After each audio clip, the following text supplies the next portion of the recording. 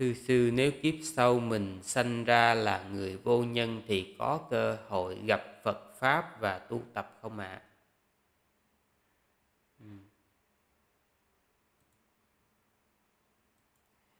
À, thưa với quý vị, cái chuyện là mình gặp à, Phật Pháp thì có thể nếu như mà mình gieo duyên. À, nhưng mà sư hỏi quý vị nè, tại sao á là đời này mình không lo tu? Một là tu để mà nỗ lực giải thoát ngay trong đời này. Hai là mình có cái sự nỗ lực giữ giới ở trong đời sau. Để cho đời sau á mình trở thành cái người tam nhân.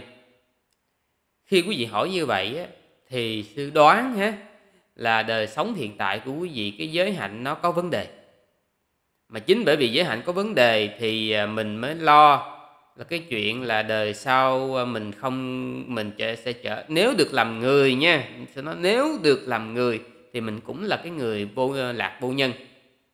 Thì giới hạnh có vấn đề. Nhưng quý vị có biết là trong rất là nhiều những cái câu hỏi thì sư đặt câu hỏi cho quý vị. Bây giờ nè mình còn đủ trí tuệ, mình còn đủ sự suy tư, còn đủ tư duy. Mà cái giới hạnh mình đã có vấn đề, mình không nỗ lực mình tu, thì có chắc là khi mình rơi vào điều kiện còn tệ hơn nữa mà mình còn tu được không? Ừ. suy nghĩ kỹ nha. Bây giờ mình có trí tuệ nè, nha, mình biết suy tư nè, mình biết gần gũi giáo pháp nè, mình biết mình có điều kiện để tu tập có điều kiện để giữ giới mà mình làm không được thì qua đời sau nếu mình sanh làm cái người vô nhân mình có làm được chuyện đó hay không? Uhm, đáng để suy ngẫm nha. Thành ra là điều quan trọng là phải nỗ lực ngay trong đời này.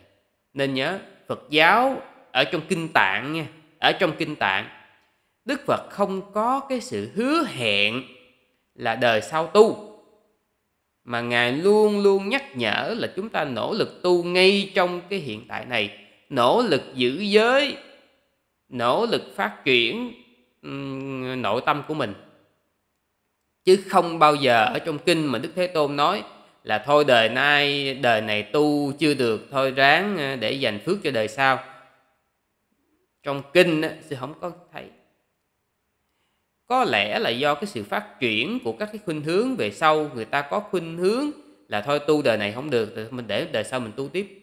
Nhưng mà đời sau tu tiếp nó còn uh, chấp nhận được nếu như mà đời sau nó tốt hơn đời này. Thí dụ như bây giờ à, mình chưa có chứng đắc đạo quả đời sau mình sanh làm người làm trời mình tu để mình tiến nó cao hơn thì quả mai chứ còn mà mình rơi vào cái cảnh giới xa đọa rồi đó, mà mình đòi đi lên nữa thì sư không hứa, không chắc không có một cái căn cứ nào để chắc cứu cho quý vị được hết trơn. Trời nha.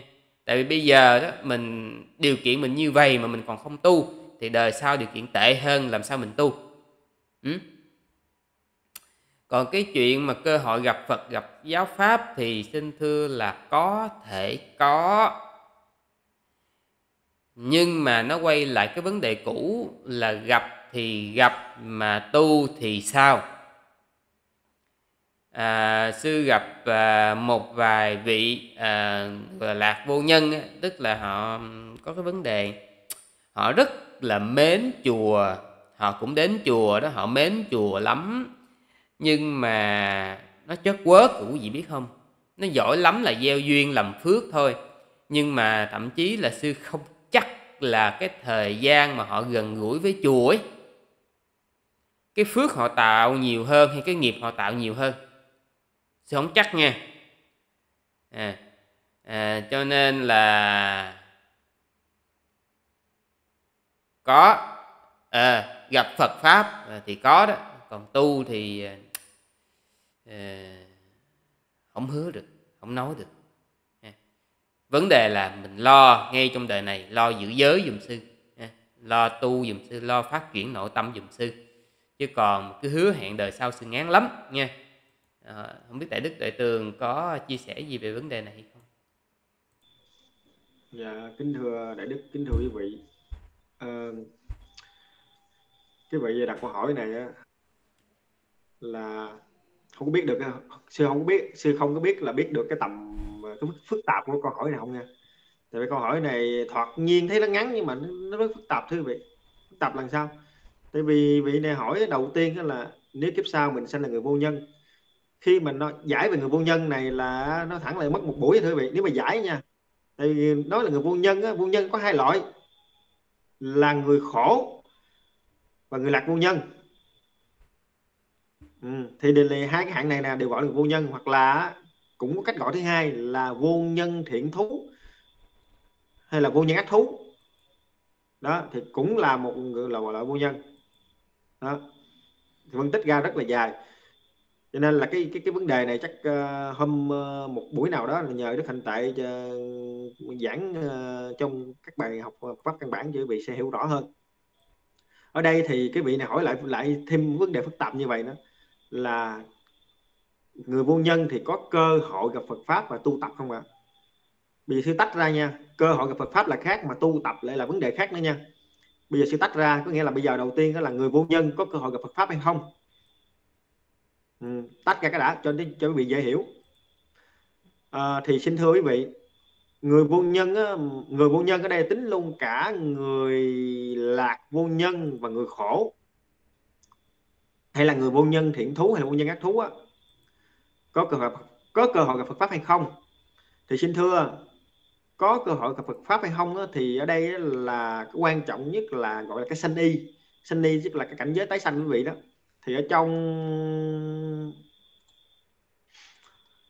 uh, kinh điển có nói về tám cái điều kiện bất tám cái trường hợp bất lợi khi mà chúng sanh ở trong tám cái hoàn cảnh này thì không có thể mà hành ờ, phẩm hạnh cao thượng không chứng đắc thánh đạo thánh quả được thì là sao? Là thứ nhất là chúng sanh ở trong cõi địa ngục. Là chúng sanh này là gọi là người khổ nè. À, chúng sanh ở trong cõi súc sinh cũng gọi là người khổ này nha. Và thứ ba chúng sanh cõi quỷ cũng gọi là người khổ nè. Và thứ tư là phạm thiên trong cõi vô tưởng thiên chỉ có thân mà không có tâm thì chúng sanh này gọi là lạc vô nhân. Là cô nhân nha.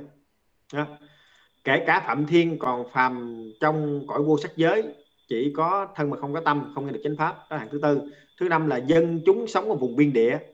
Hay mở ngoặt thêm là sống ở những cái vùng biên địa, những cái vùng mà chiến tranh chậm cướp, những cái vùng mà xa xôi, hẻo lánh nghĩa là không, như như nó thẳng là, giống như là những cái cái nước mà châu phi mà nó xảy ra nội chiến suốt thôi vậy người những cái nước mà nó nó, nó toàn là dân ngoại đạo tà kiến tà kiến có đạo nhưng mà toàn là tà kiến không mà đó. Rồi thứ sáu nè là sinh trưởng trong gia đình ngoại đạo tà kiến. Thứ bảy là người khuyết tật câm điếc. Người khuyết tật uh, tật câm điếc bẩm sinh đó là cái này là gọi là người lạc vô nhân nè mới đấy đức anh tại nói nè. Đó. Thứ tám đây quan trọng nè thứ tám này đức quan trọng mà đức anh tại cũng nhấn mạnh thưa vị nè. Người có trí tuệ mà không gặp được Phật hoặc chư tỳ kheo. Cái này có trí tuệ đó mà không gặp được chư Phật có chư tỳ kheo cũng bó tay luôn.